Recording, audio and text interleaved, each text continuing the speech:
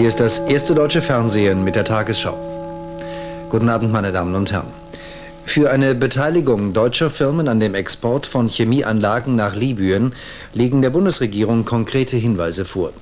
Bundeskanzler Kohl in Bonn und Finanzminister Stoltenberg in Washington teilten am Abend mit, dass diesen Hinweisen mit Nachdruck nachgegangen wird. Stoltenberg kündigte an, er werde bei seinen Gesprächen mit der amerikanischen Regierung das Thema weiterverfolgen. Kohl sagte im ZDF, die Hinweise bezögen sich auf konkrete Dokumente, aus denen sich möglicherweise beweiskräftige Dinge erhärten ließen. In Brüssel ist ein belgischer Geschäftsmann unter dem Verdacht verhaftet worden, Teile für die libysche Chemiefabrik in Rabta unter gefälschten Frachtbriefen verschifft zu haben. In der Diskussion um Bundesverteidigungsminister Scholz hat Bundeskanzler Kohl ebenfalls im ZDF dem Minister sein volles Vertrauen ausgesprochen.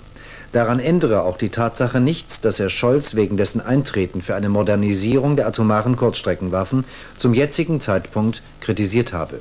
Auch der CSU-Vorsitzende Weigel hat zu Beginn der traditionellen Klausurtagung der CSU-Abgeordneten in Wildbad Kreuth Scholz vor der Kritik aus den eigenen Reihen in Schutz genommen. Scholz, so sagte Weigel, sei eine gute Wahl. In der Programmkommission der Sozialdemokraten haben sich bei der Diskussion um die Wirtschaftspolitik die sogenannten Marktwirtschaftler der Partei durchgesetzt. Mit 13 gegen 8 Stimmen bekannte sich die Kommission zum Grundsatz der Wettbewerb, äh, Wettbewerbswirtschaft mit möglichst wenig staatlicher Lenkung, wie er vom stellvertretenden Parteivorsitzenden Lafontaine und dem Wirtschaftsexperten Roth vertreten wird. Den weiteren Betrieb des Kernkraftwerkes Biblis haben Bundesumweltminister Töpfer und sein hessischer Kollege Weimar davon abhängig gemacht, dass dort verbunkerte Notstandswarten gebaut werden. Ohne die werde Biblis nicht wieder ans Netz gehen. Ein Sprecher der Betreibergesellschaft des Rheinisch-Westfälischen Elektrizitätswerkes erklärte, man werde die Sicherheitszusagen einhalten, sie müssten aber einer wirtschaftlichen Prüfung standhalten. Bundesbildungsminister Möllemann wurde am Abend auf einer Studentenversammlung in der Münchner Universität niedergeschrieben. Er verließ die Versammlung, ohne überhaupt das Wort nehmen zu können.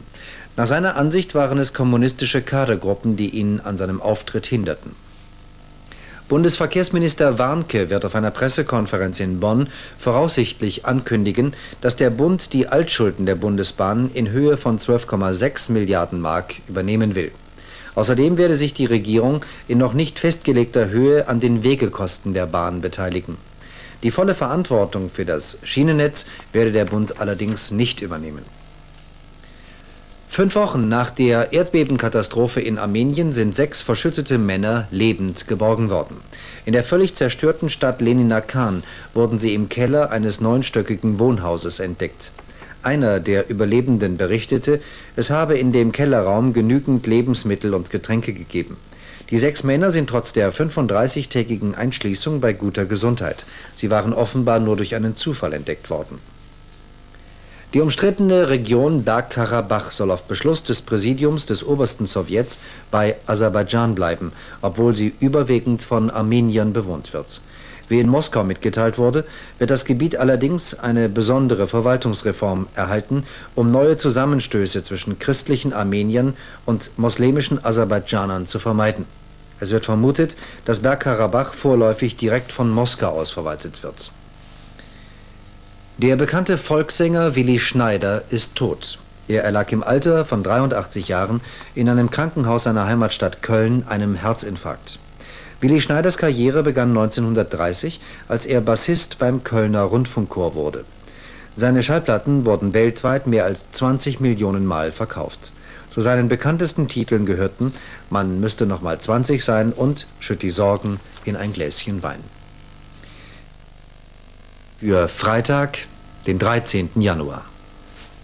Zunächst im Osten und im Südosten noch stark bewölkt und örtlich Regen. Im Laufe des Vormittags auch hier, wie schon in den anderen Gebieten Deutschlands, wechselnd wolkig mit Aufheiterungen und weitgehend niederschlagsfrei. Tiefste Temperaturen 2 bis 6 Grad. Höchstwerte 4 bis 8 Grad. Im Süden schwacher bis mäßiger, im Norden frischer bis starker Wind um Südwest. Die weiteren Aussichten am Samstag erneut Durchzug eines Regengebietes, weiterhin mild. Das, meine Damen und Herren, waren die letzten Nachrichten der Tagesschau. Wir melden uns wieder zu den angekündigten Sendezeiten.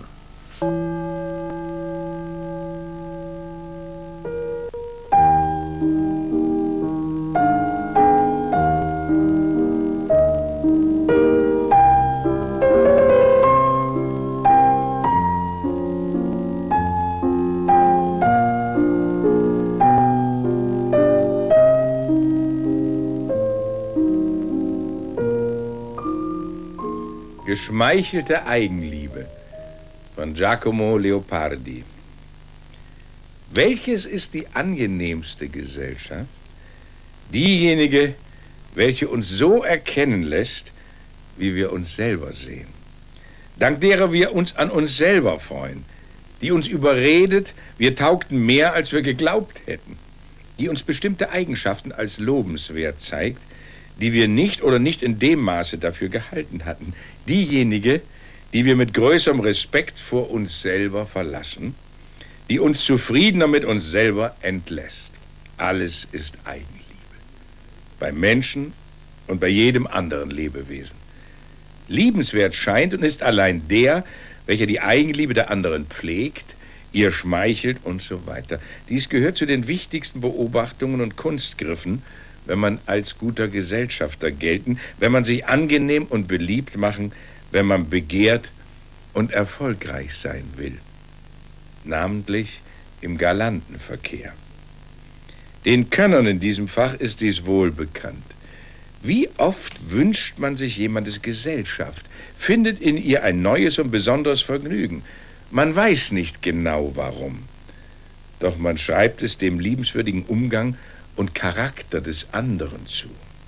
Der wahre Grund ist, dass er es versteht, uns einen höheren Begriff von uns selber zu geben oder auch unser günstiges Urteil über uns zu bestätigen. Gute Nacht.